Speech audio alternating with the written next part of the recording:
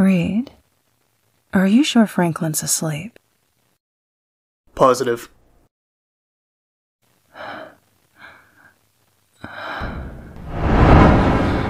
Oh god! Is this a bad time? Sue? What's wrong? I heard. Whoa. Grim? Uh, no. I'm Sharon Ventura. Sherry. She thing. She thing? Seriously? Oh, right. Like you get to criticize Doctor Strange. That's my name. And she thing is mine, okay? Yes. Yes, what? Yes, it was a bad time.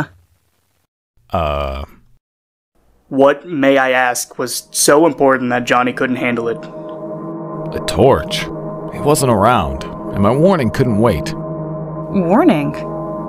Yes, I've contacted the Avengers, X Men, S.H.I.E.L.D., and several other groups. What? What's going on? Syzygy.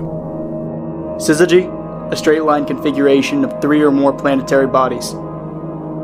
This is more than that. Within 12 hours, every planet in our solar system will be aligned. That's rare, granted, but nothing to be alarmed about. Untrue. At the time when certain mystical forces gain strength and can become unleashed, significant disasters have occurred at such times. I'm sorry, Stephen, that's absurd. It's an astronomical happenstance, nothing more. Trust me, Reed. You're wrong. Make sure your house is in order. Wait. Hold on. Johnny isn't here? He didn't have plans.